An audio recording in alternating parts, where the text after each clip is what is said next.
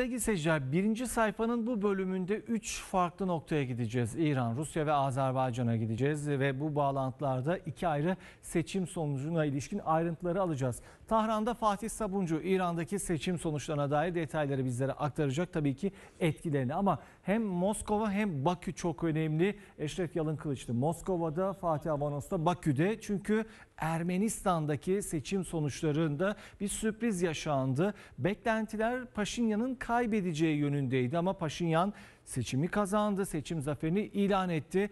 Bakü'de, Rusya'da, Moskova'daki yankılarını alacağız. Şimdi Bakü'ye dönelim ki Bakü ofiste muhabir arkadaşımız Fatih Avanos bizleri bekliyor. Fatih Tabii e, Azerbaycan'ın e, artık e, zemini ayakları daha sağlam basıyor ki Karabağ zaferinin ardından ama tabii ki gelişmeler yakından takip ediliyor. Ermenistan'daki seçim sonuçları nasıl yankı buldu Bakü'de?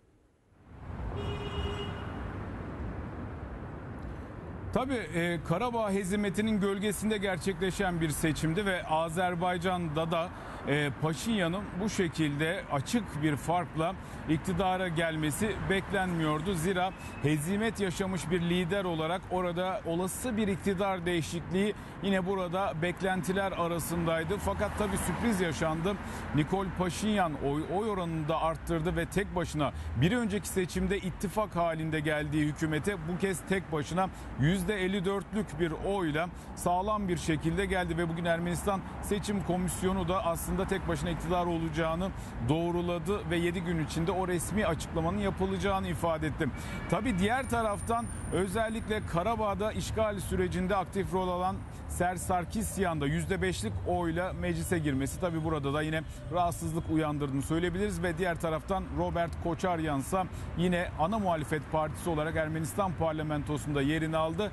Ee, Bakü dikkatle izliyor. Bugün ilk tepki aslında Azerbaycan Dışişleri Bakanı Ceyhun Bayramov'dan geldi. Kazakistan Başbakan Yardımcısı ve aynı zamanda Dışişleri Bakanı'nı kabulünde yaptığı açıklamada Ermenistan'da dün erken seçimler yapıldı dedi ve hükümetin kurulması artık bekleniyor. Ermenistan hükümetinin krizinin nedenini analiz edip doğru sonuçlar almasını umuyoruz dedi.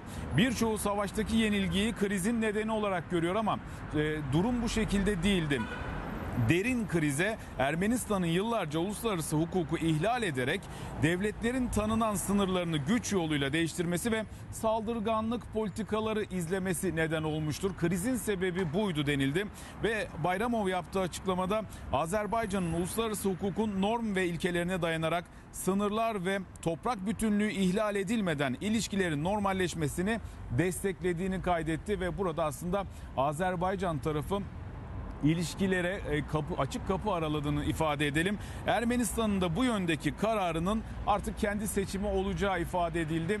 E, Cumhurbaşkanı Recep Tayyip Erdoğan'ın ve yine Azerbaycan Cumhurbaşkanı İlham Aliyev'in o altılı işbirliği platformunu aslında atıfla e, bundan sonra kararı Ermenistan alacaktır ve uluslararası hukuktan kaynaklanan sınırları tanıması halinde herhangi bir Azerbaycan toprağına ilişkin bir ihlal yapmadığı takdirde Azerbaycan tarafının ilişkileri normalleştirmeye sıcak baktığı mesajı verildi. Bu da bundan sonraki süreçte aslında Paşinyan ve hükümetinin almış olacağı tavra e, bağlı olacak Cengiz Han Cevahiroğlu.